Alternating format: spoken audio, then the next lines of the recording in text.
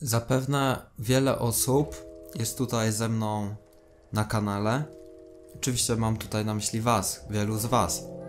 Jesteście tutaj na kanale, ponieważ interesujecie się zagadnieniem oświecenia, pragniecie oświecenia lub szeroko rozumianego rozwoju duchowego. Dzisiaj chciałem się podzielić z Wami czymś e, bardzo ważnym, czymś, co mi osobiście bardzo pomogło się rozwinąć, bardzo szybko rozwinąć, w bardzo szybkim tempie. I są to pewnego rodzaju skróty, które ja sam osobiście odnalazłem. I odkryłem, że to są jedyne istniejące skróty dotyczące rozwoju duchowego i oświecenia, jakie w ogóle istnieją. A próbowałem wielu różnych skrótów i próbowałem wielu różnych ścieżek, aby uzyskać pełnię, żeby uzyskać pełną integralność, aby uzyskać jedność, aby uzyskać oświecenie, jak zwał, tak zwał. I muszę Wam przyznać, że ze wszystkich rzeczy, które próbowałem, te dwie rzeczy są najskuteczniejszymi sposobami na to, żeby uzyskać to poczucie spełnienia, to poczucie jedności, to poczucie pełnej obecności. Muszę Wam powiedzieć, że nawet ciężko jest mi to nazwać oświeceniem, ale już nazwijmy to oświeceniem, jeżeli, jeżeli mielibyśmy to tak nazwać. Osobiście nie jestem zwolennikiem jakichkolwiek dróg na skróty, nie cierpię dróg na skróty i wiem, że wszystko, co chcemy w życiu osiągnąć, wymaga ciężkiej pracy, wymaga zaangażowania i wymaga wiedzy, wymaga zrozumienia, wymaga mądrości, wymaga odpowiedzialności, pokory, wymaga pracy, wymaga działania, wymaga odpowiedzialności i tych wszystkich takich wartości, mógłbym powiedzieć, wyższych, które, uwaga, mają na celu przekroczyć nasze niedojrzałe ego i sprawić, abyśmy byli w pełni zintegrowanymi i dojrzałymi ludźmi. Bowiem tak się zadziewa, tak się dzieje, tak się praktycznie samo robi, że rozwój duchowy nie jest jakąś tam filozofią, nie jest tam jakąś opowiastką, nie jest jakąś tam ściemą, która biegnie sobie obok naszego życia. Rozwój duchowy jest naszym życiem. Duchowość jest życiem, duchowość jest materią, świadomość jest materią i nie jest niczym od niej rozerwane. I to jest super mega istotne, bowiem jak to załapiesz, jak to zrozumiesz i to zaakceptujesz, przestaniesz walczyć z samym sobą. Przestaniesz oceniać innych ludzi, że są nieświadomi, albo przestaniesz ich oceniać, że są odpowiedzialni za twoje własne życie i zdasz sobie sprawę z tego, że to ty jesteś odpowiedzialny w pełni za swoje własne życie, a mało tego, to co my na co dzień nazywamy ego, z czym walczymy na co dzień, nie jest tak na dobrą sprawę niczym złym. Nie jest niczym, z czym my musimy walczyć. Nie musimy walczyć sami ze sobą, nie musimy się zabijać, nie musimy się samobiczować, nie musimy niszczyć samych siebie. Wystarczy, że nauczymy się poprawnie akceptować samych siebie. I zapewne wielu z Was oglądało moje ostatnie nagranie na temat tego, że medytacja Cię zabije. I powiem Wam szczerze, że to był bardzo ciekawy eksperyment, bo to wideo ma ponad 1000 wyświetleń i to tak szybko się wydarzyło, że się w głowie nie mieści. I to tylko świadczy o tym, jak bardzo ludzie są e, przestraszeni, tak? Bo jeżeli ktoś widzi nagłówek medytacja cię zabije, no to co robi? Boi się. I co robi natychmiastowo? Reaguje. A w jaki sposób reaguje? Oczywiście klika w nagranie.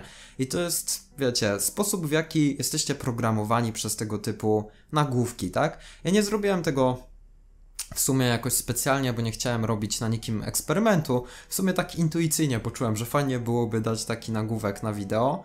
E, po prostu tak chciałem. No I tak wyszło to naturalnie. Nie chciałem nikim manipulować. Ja zresztą nie cierpię manipulacji ani żadnych tego typu technik perswazyjnych. No ale miejcie to na uwadze, bądźcie tego świadomi, no bo tak samo jak ludzie reagują względem mojego kanału na YouTube, potem reagują względem innych kanałów na YouTube, tak samo się zachowują w relacjach międzyludzkich, oglądają telewizję, szukają kontrowersji i tego, tego, wiecie, wszystkiego, e, co jest mechaniczne, automatyczne, już wy, wyuczone. I teraz chciałem Wam powiedzieć, że właśnie jednym ze sposobów na to, aby przyspieszyć swój własny rozwój jest akceptacja tego. Niezaprzeczanie temu zjawisku. Niezaprzeczanie temu, że istnieje coś takiego jak ludzka natura, a ludzką naturą jest po prostu bycie samolubnym. I akceptacja tej samolubności prowadzi do czegoś większego, bowiem gdy ty poprzez swoją świadomą uwagę rozpoznasz to, jak bardzo jesteś egoistyczny na co dzień. I przestaniesz od tego uciekać. I nauczysz się zdrowo integrować ten egoizm w swoim własnym życiu.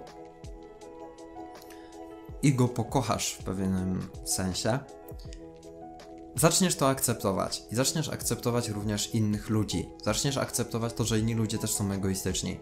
Zaczniesz akceptować tą sferę cienia w naszym życiu, tego czego się wypieramy, czego, czemu zaprzeczamy, co racjonalizujemy, to szczególnie w duchowości i w tego typu, powiedzmy, ruchach myślenia pozytywnego.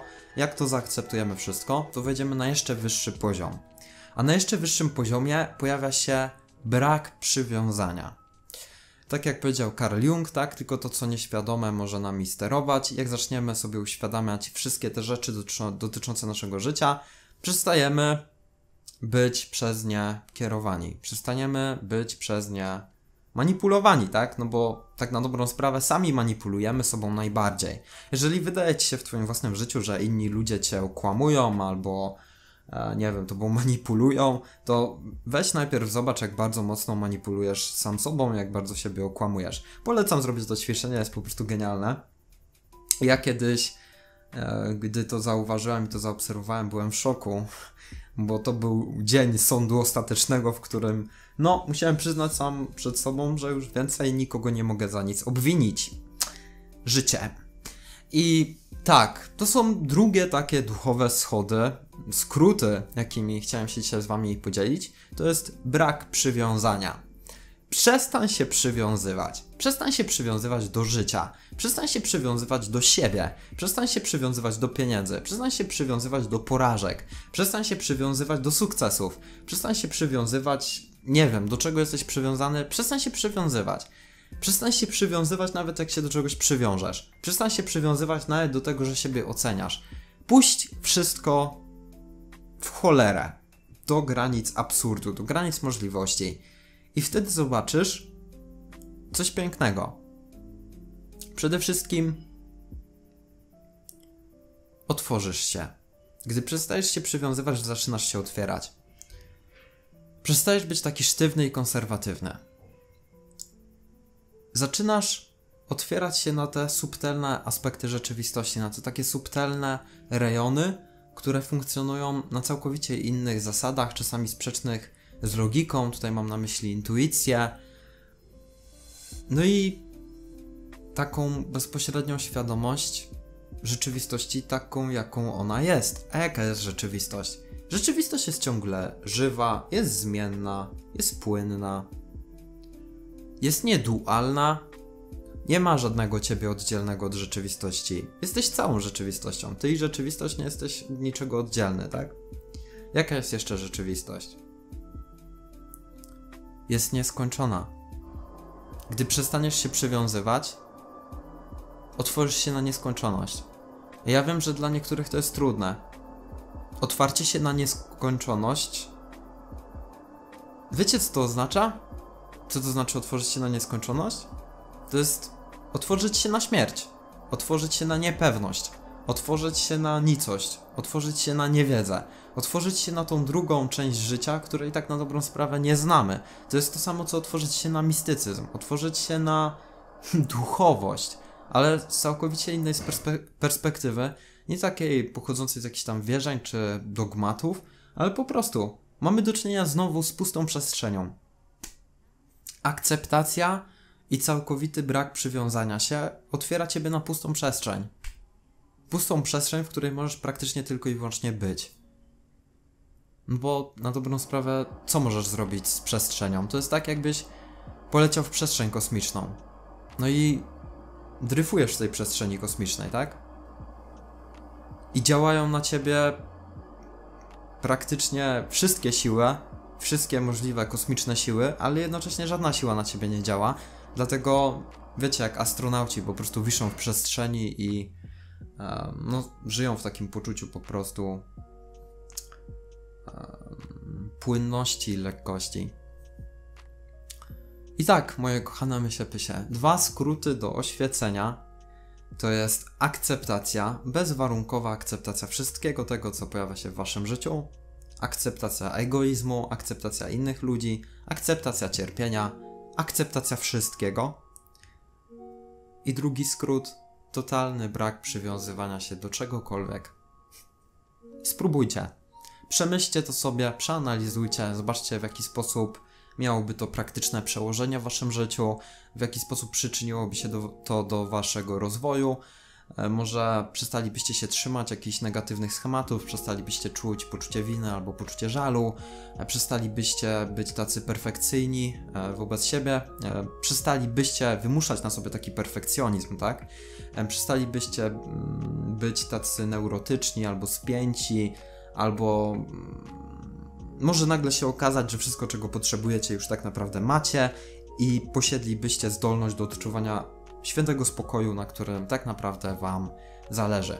To tyle, jeżeli chodzi o ten film, to tyle, jeżeli chodzi o to nagranie. Mam nadzieję, że pomogłem, że wniosłem olbrzymią ilość wartości do Waszego życia. Jeżeli tak było, tak jest, napiszcie proszę dla mnie pozytywny komentarz, dajcie kciuki w górę. Udostępnijcie ten film proszę na Facebooku, podzielcie się ze znajomymi. Czy o coś jeszcze Was mogę prosić? Tak, mogę Was prosić o wsparcie. Jeżeli chcecie wspierać projekt Find Yourself, to na dole macie wszystkie potrzebne linki oraz odnośniki do Patronite'a, do PayPala. Jeżeli chcecie się ze mną umówić, również możecie na dole napisać. Ja w tej chwili ym, wciąż jestem w trakcie różnych zmian, ale zmiana, wiecie, całe życie tak będzie się zmieniać, więc nie ma co się do tego przywiązywać. Trzymajcie się ciepło. Do zobaczyska następnym razem. Miłego. Elo, buźka.